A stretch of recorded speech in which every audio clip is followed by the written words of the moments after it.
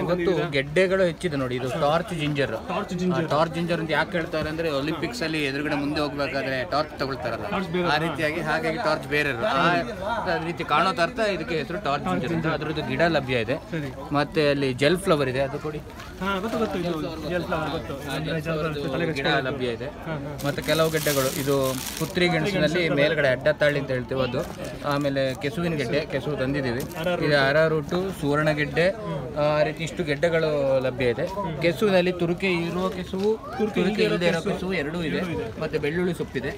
ಮತ್ತೆ ಕೆಲವು ತೋಟದಲ್ಲಿ ಮೌಲ್ಯವರ್ಧನೆ ಮಾಡೋದು ಕೆಲವು ಸ್ಯಾಂಪಲ್ಗಳಿದೆ ಇದು ನೋನಿ ಎಣ್ಣೆ ಇದು ಹೊಸ ಪ್ರಾಡಕ್ಟ್ ಇದು ನೋನಿ ಎಣ್ಣೆ. ಇದಿದೆ. ಬಾಳೆಕಾಯಿ ಪುಡಿ ಬಾಕಾಕು ಅಂತ ಕಾಳುಮೆಣಸು ಮತ್ತು ಇದು ನೋಡಿ ಇದು ಭಾವನ ಹಿಪ್ಪಿಲಿ.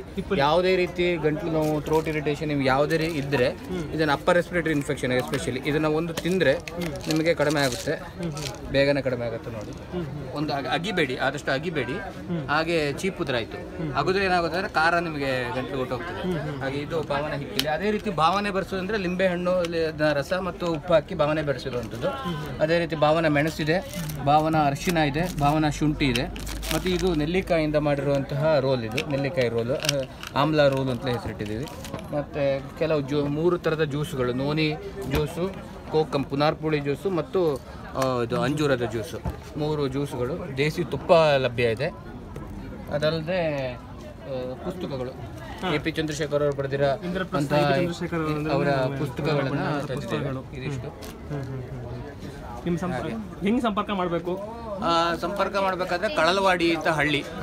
ಮೈಸೂರಿಂದ ಹದಿಮೂರು ಕಿಲೋಮೀಟರ್ ಇಂದ್ರಪ್ರಸ್ಥ ತೋಟ. ಮೈಸೂರಿನಿಂದ ಮಾನಂದವಾಡಿ ರೋಡ್ ಅಥವಾ ಎಚ್ ಡಿ ಕೋಟೆ ರೋಡ್ನಲ್ಲಿ ಹಾಗೆ ಮುಂದಕ್ಕೆ ಬರುವಾಗ ಚಿತ್ರವನ್ನ ರೆಸಾರ್ಟ್ ಅಂತ ಸಿಗ್ತದೆ. ಅದಾದ ಕೂಡಲೇ ಎಡಗಡೆಗೆ ಬಂದ್ರೆ ಇಂದ್ರಪ್ರಸ್ಥ ಅಂತ ಯಾರು ಕೇಳಿದ್ರು ಹೇಳ್ತಾರೆ. ಇಂದ್ರಪ್ರಸ್ಥ ತೋಟದಲ್ಲಿ ಬಂದು ಹಾಗಲ್ಲ. ಆ, ತೋಟಕ್ಕೆ ಬರ್ದೇನೆ ಇವೆಲ್ಲ ವಸ್ತುಗಳನ್ನ ತಗೊಳ್ಬೇಕು ನಾವು ಅಂತಂದ್ರೆ ವಸ್ತುಗಳು ತಗೊಳ್ಬೇಕಾದ್ರೆ ಮೈಸೂರಲ್ಲಿ ಪ್ರಕೃತಿ ಅಂತ ಅಂಗಡಿ ಇದೆ ಅಲ್ಲಿ ಸಿಗ್ತದೆ ಅಲ್ಲಿ ಲಭ್ಯ ಇದೆ.